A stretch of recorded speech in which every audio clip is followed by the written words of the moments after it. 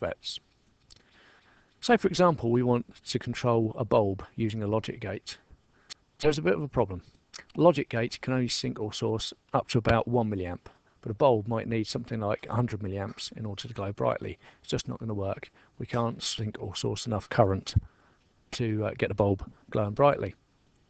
So how are we going to do this? Well, what we need is a switch.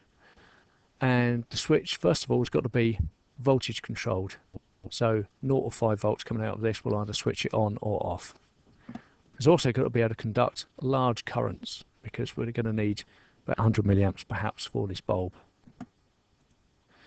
Okay, the device we use for this is a MOSFET. So let's label all the terminals. First of all, we've got the gate, and then we've got the source, and then we've got the drain.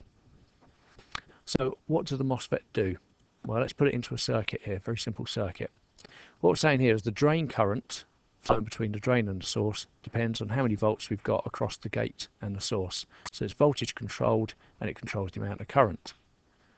So let's put this in our circuit then. And also note that we don't need to use 5 volts for the bulb, we can use any voltage we want. I've just put 12 volts here to demonstrate.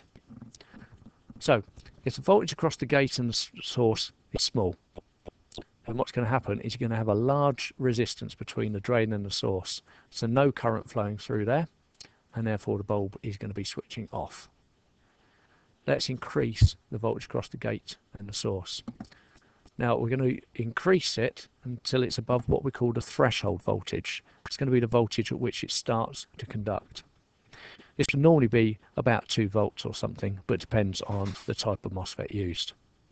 Now, once we go above the, the, threshold voltage across the gate and the source, this resistance between the drain and the source starts to reduce and that means that a large current can start to flow and that means that the bulb is going to switch on.